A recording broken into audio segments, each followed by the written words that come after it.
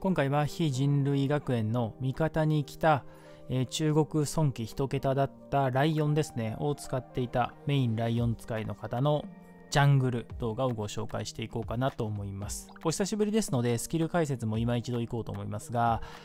えー、っと、ライオンに関してはパッシブがモードチェンジをすると攻撃速度が上がるというところから、えー、序盤からカチャカチャカチャカチャ、えー、スキルを変えていくというのが主流になります。レベル1からウルトが使えるようになっていますので実際最初の時に近距離のメガホンのドゥルット、えー、ハンマーを振ります。グルリンチョで2つ。レベル2になると、まあ、ブリンクだったりとかブリンクだったりとかが使えて、まあ、トータル4つですね。で今回このライオンとんでもねえ動きをして で、ロークもこれ多分マップ見てなかった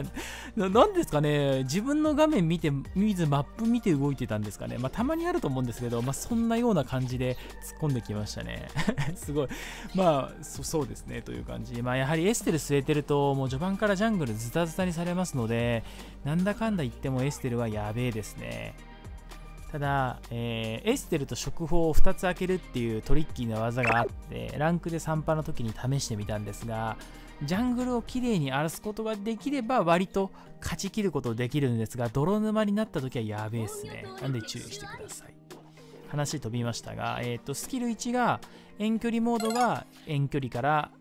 そうだよな。遠距離モードがメガホンをブルッと上げて3個、ビームを飛ばすっていうのが遠距離モード。近距離モードだとハンマーグルリンチョっていうのが、えー、近距離モードのスキルになってます。続けてスキル2ですね。共にブリンクのスキルになるんですが、遠距離モードからブリンクすると次の通常攻撃が強化されるものと、近距離モードは一発目ブリンクして敵に当てると2回目も撃つことができて、2回目のとこは、え飛びつきからの、え範囲内の敵に打ち上げということでかなりいけてますので、まあ、どのスキルもライオンさんは実はめちゃくちゃいけてますね。で、まあ、あの、モバで基本的にスキルダメージタワーに取らないのが当たり前なんですが、非人類学園は通ってしまうからこそ序盤からタワーがバキバキになるっていうところが他のバーと比べてちょっと特殊ですね。続けてスキル3ですね。これ私はあの、あんまり気にしてなかったんですが覚醒するとモード変更した時に HP の割合ダメージですねを与えるっていうところと遠距離から近距離になった時は、えー、防御値を低下っていうのが覚醒時にあったんですけどこれ昔からでした。ごめんなさい全くこれ気にしたことなかったですね。まあというような新たな気づきもありますが現状ライオンがじゃあどうなのかっていうとまあ、スキル性能を見ても悪くはないと思うんですけど、1スキがまあえげつねえぐらい弱体化されたんですね、ダメージが。その結果、もうほんま見えることなくなりましたけど、依然としてライオンのジャングリングの周回速度を見れば、やっぱり特にね、今だと序盤からガシガシ当たりますので、その時にブリンク2個にダメージスキル2つ、なんだったら2スキも2回使用できるから割といい火力出ますので、なくはないジャングラーなのかなっていう気もするんですよね。本当にピック率低くなっちゃうんですけど、メガホンをしっかりと目の前で当てることができて、ビルドもね、昔みたいにバカ火力じゃなくて、まあ、どっちかというとクールダウン下げつつタンク寄りにしておけば、割といいジャングラーなんじゃないかなって気もちょっと正直してきちゃって困ってるところなんですけど、まあ、霊感がいい例ですよね。まあ、ちょっと霊感と比べるとあれかもしんないですけど、でも通常攻撃だったりとか、まあ、さっきのウルトのパッシブだったりとか、えー、まあ、パッシブというか、まあ、アクティブ化のスキルだったりとか、まあ1えーと、これのキャラクター自体のパッシブの攻撃力の増加っていうところを含めていけば、わりかしね、いいもの持ってんじゃないかなって気しちゃいますけどね。まあ、ただそうすると昔がめちゃくちゃやっぱり強かったよなって気がしますね。初めの頃のライオン知ってる人だと、本当に今ジャングル周回がすげえ遅く感じちゃうんですけど、昔はレベル1のところのこのメガホン、近場に当てるだけで余裕でサクサクサクっていう周回ができたので、昔ライオンよくピックされてたのは、エステルなしでバフバフっていう爆速周回ができる壊れ具合だったんで、結構中国の人を気に入って使ってたの。日本だったらまあ名前挙げちゃいけないかもしれないですけど、ウェイディ君ぐらいがライオンはよく使ってるのかなって気しますが、まあでもきついですね。ちなみに今回この方、ライオンで非常にうまくやってるように見受けられると思うんですが、えー、この1試合か2試合前、味方に来てトップライオンをして、天台持って1-7ぐらいのスコア叩き出して負けましたね ピックのタイミングでうちらはもうあのこれ終わったかなっていう感じだったんですが、ジャングルさせたら割としっかりしてるし、なんだったら1周目の青葉服れて神かよみたいな状況なので、まあ、やっぱり適正レーンで適正キャラクター使った方がいいんじゃないかなっていうのがよくわかる感じですね。で、まあ、あの知ってる方いるとあれかもしれないですけど、今回私、ノエル君、フェイ君の3波で、野良で現れたサブアカ君ですね。というようなのでなぜか4人みたいなパーティーになってますがこれは3パな感じでやってます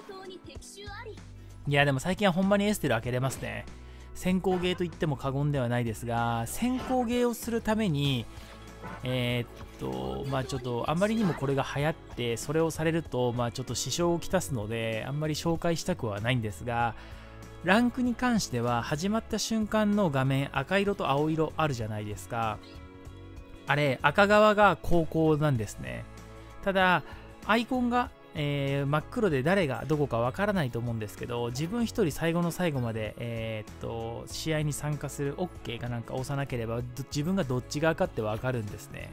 赤側だったら、えー、っとどっちだっちどっちまあどっちでもいいですけど一回あのその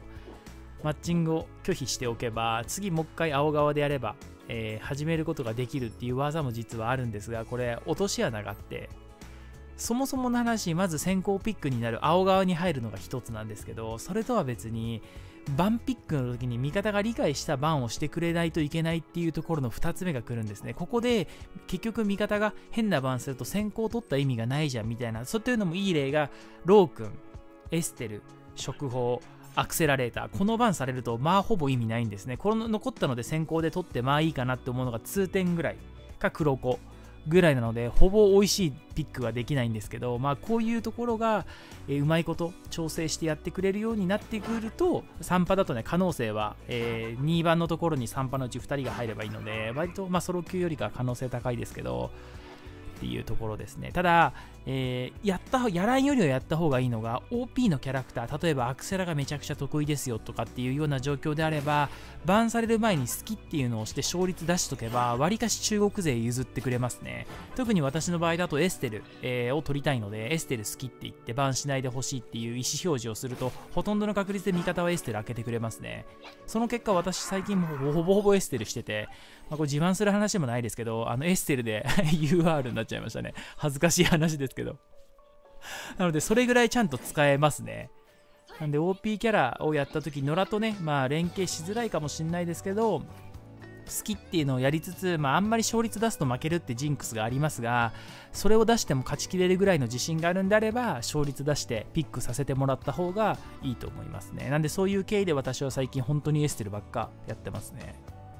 ただ、まあ、エステルするときの注意点、まあ、エステルの動画じゃないんで、エステルの話してもあれですけど、ジャングラーが慣れてねえとマジできついっすね。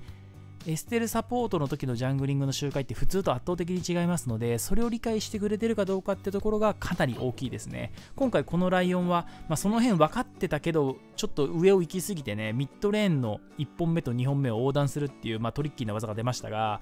まあ、そこはしっかりミッドレーナーのノエル君がダメトレしてて敵を寄せてたっていうのを見越した上でだったら最強でしたけど、まあなんともって感じですね。